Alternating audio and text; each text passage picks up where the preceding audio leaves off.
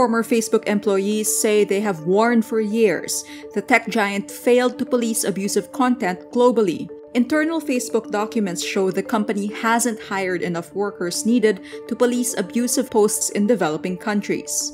The documents also show artificial intelligence systems Facebook employs to root out such content aren't up to the task either. They also show Facebook hasn't made it easy for its global users to flag posts that violate the site's rules. The documents are among a cache of disclosures made to the U.S. Securities and Exchange Commission and Congress by Facebook whistleblower Frances Haugen.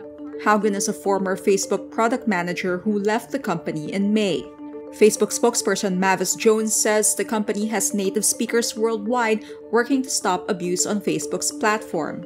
Facebook operates in more than 190 countries and boasts more than 2.8 billion monthly users who post content in more than 160 languages. But its efforts to prevent its products from becoming conduits for hate speech, inflammatory rhetoric, and disinformation have not kept pace with its global expansion.